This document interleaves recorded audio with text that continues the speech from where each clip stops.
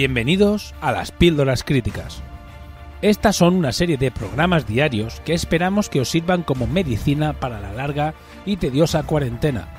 En estos programas repasaremos trasfondo, perfiles, listas y relatos, pero intentando no sobrepasar los 15 minutos de duración. Porque si estás escuchando esto, sois parte de la resistencia y no, no estáis solos. Bienvenidos a Hora Crítica. ¡Empezamos!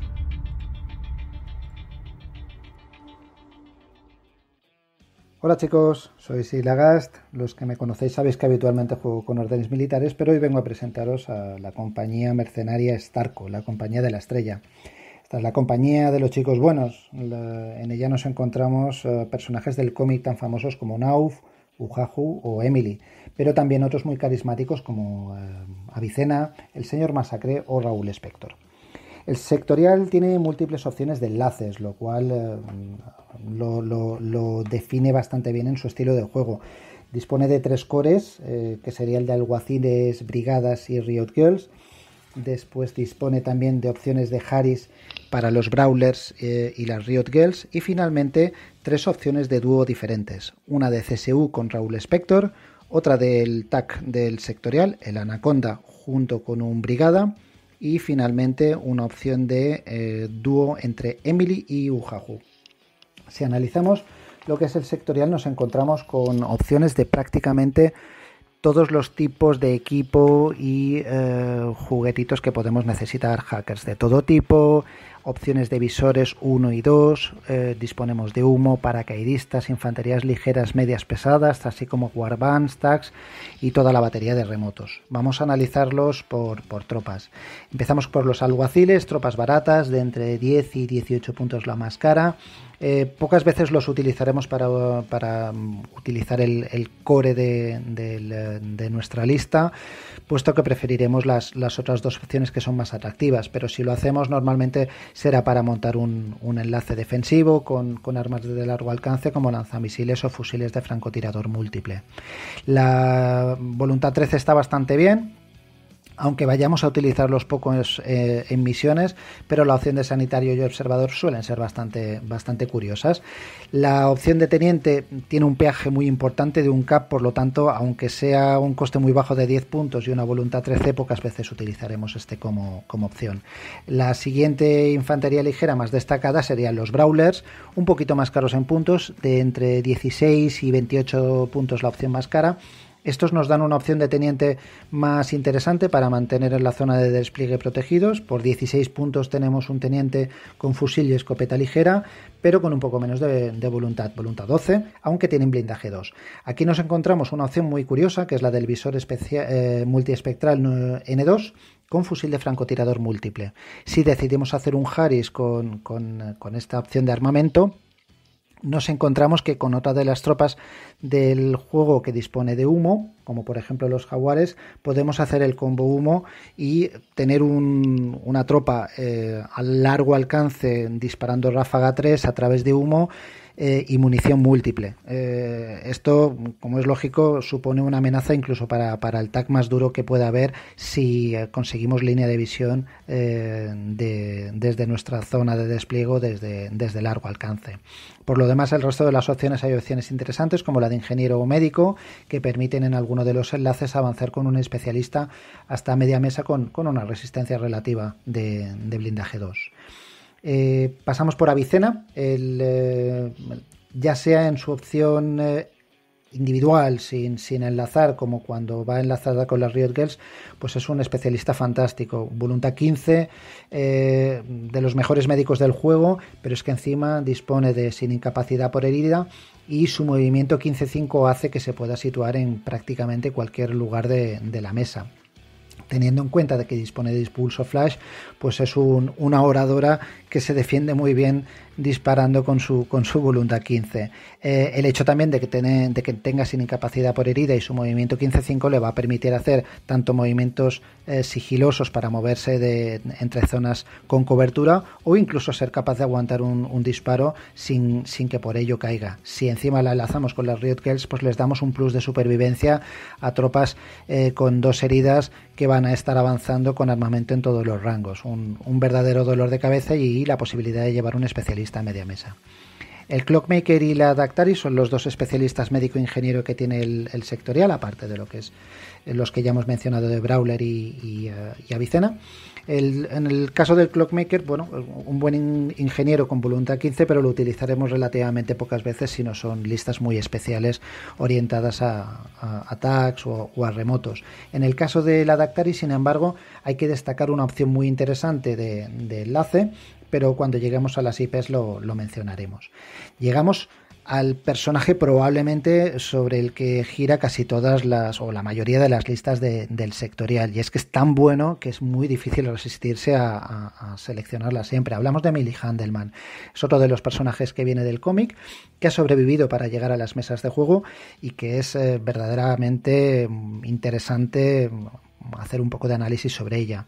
Sus números en general no llaman mucho la atención, movimiento 10-10, CC 15, CD 13 físico 10, voluntad 14, esto es un buen dato, blindaje 3 y blindaje 1, perdón, y PB3, una herida y hasta aquí nada espectacular, pero bueno, si juntamos la opción de visor con el armamento que después eh, veremos, eh, visor X, perdón, eh, pues em, ya empieza a mejorar la cosa. Si le ponemos que es mimetismo, en, los cruces de las tiradas enfrentadas, pues es un rival bastante más duro.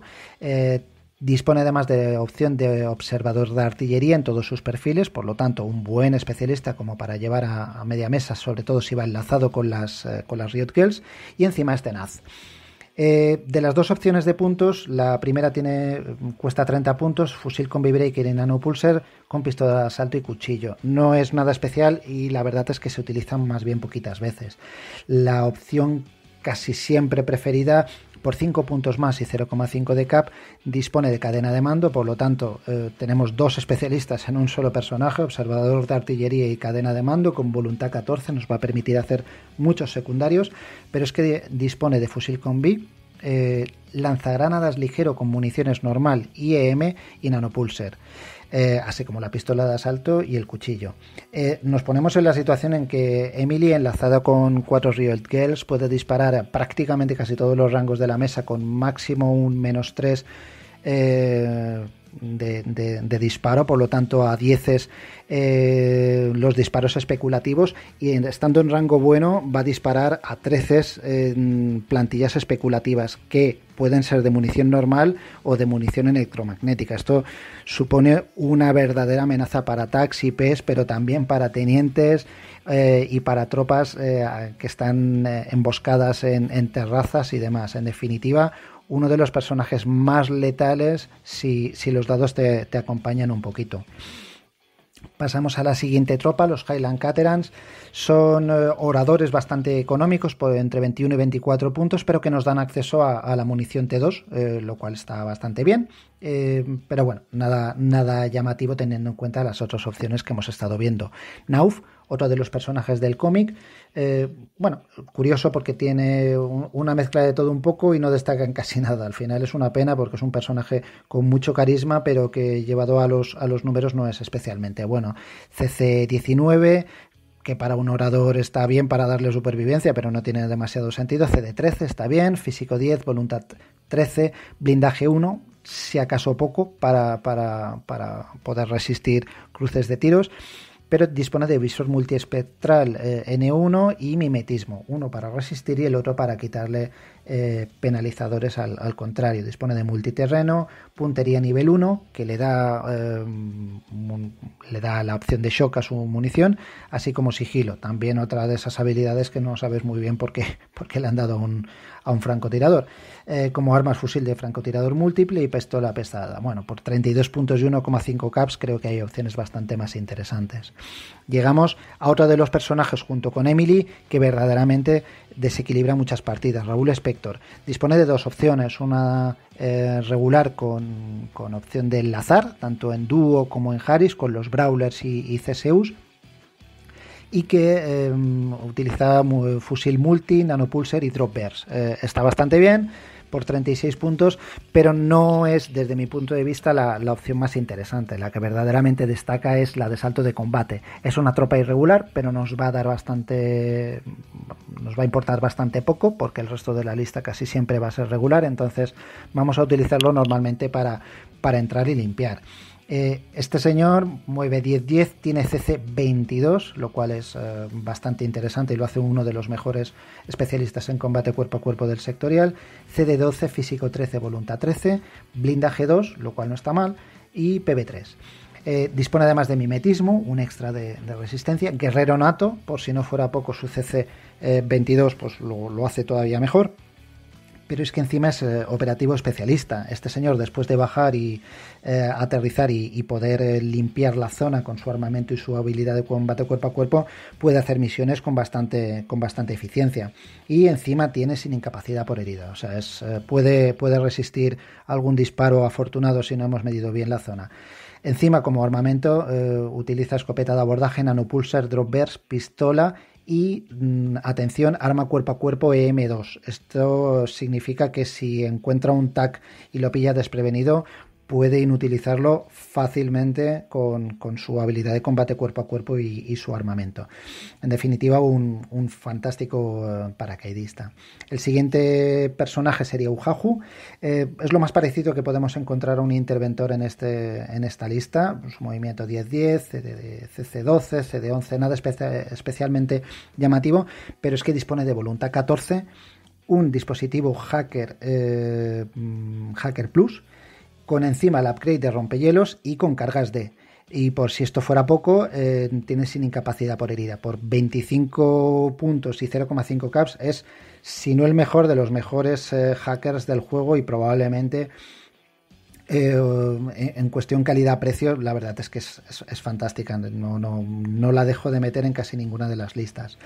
Pasamos por los Warcors, nada llamativo. Los, los Hellcats, bueno, paracaidistas de, corregidor, eh, eficientes, un poquito más económicos que Raúl Spector, pero bueno, puestos a elegir, la verdad es que se utilizan poco.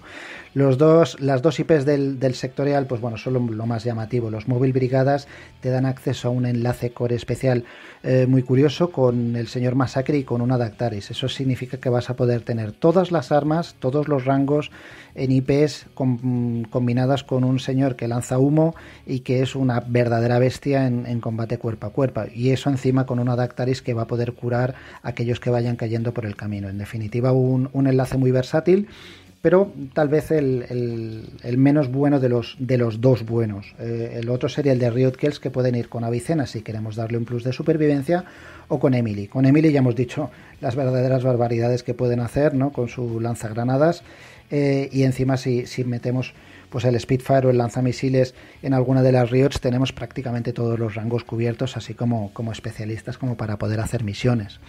El Anaconda, bueno, eh, lo, único llamativo del Anaconda es que puede enlazar con, con un móvil brigada y que si ese móvil brigada es el que, mm, el que lleva el Teambot, pues hace que sean un poquito más resistentes contra los hackeos y demás. Si es el hacker nos permite llevar un, un tag junto con un especialista media mesa con más economía de, órdenes. Pero lo dicho, es un tag bastante mediocre, se va a utilizar poquitas veces. Si pasamos después por todos los remotos de, um, corregidor, pues nada, de nómadas, nada llamativo. El señor Masacre ya lo hemos mencionado. Y pasamos a las cuatro tropas de, a las tres tropas de media mesa y a las, y a las uh, warbands que nos, que nos quedan. Hablamos de, de los hardcase, especialistas en media mesa por muy poquitos puntos que te pueden dar una, una, sorpresa, ¿no? Además de disponen de camuflaje emboscado, por lo tanto están bien para, para, molestar y tener un poco de control de media mesa. Los bandits nos permiten tener la, acceso a los repetidores de posición, que para nuestros hackers estarán bastante bien, y encima son tropas especialistas en, en con, con, combate cuerpo a cuerpo con artes marciales N2 y CC21. Bueno, pues es una, buena amenaza. Y eh, por último el Aljawa, una unidad fantástica que por su precio y teniendo en cuenta de, que es eh, tropa regular con infiltración, multiterreno, camuflaje y, opciones de, especialistas buenas como la de hacker eh, de asalto y observador de artillería, pues no deberían faltar en ninguna de las listas. Por último, los dos Warbands, los, eh, jaguares de corregidor, bueno, eh, tropas baratas pero regulares, por 10-13 puntos nos dan opción al humo, que hacen un buen combo con los visores N2 de, los Brawlers. Eh, y por último, el ingeniero más económico y divertido del juego, los, los Irmandiños, con saqueador, con botín y teniendo en cuenta que son impetuosos extremos y que les puedes poner un par de un par de, mm, de zombots para, para, acompañarles, se convierten en verdaderos especialistas en combate cuerpo a cuerpo. Ojito con los irmandiños. No son los que más haya utilizado, pero me han contado verdaderas barbaridades. En definitiva, veis que Starco es una, una compañía mercenaria, un sectorial muy divertido de jugar, con muchísimas opciones. O sea que os animo a probarlo y, ya me contaréis a ver qué tal os ha ido. Eh, espero que os haya gustado. Y recordad. Si estás escuchando esto, eres la resistencia.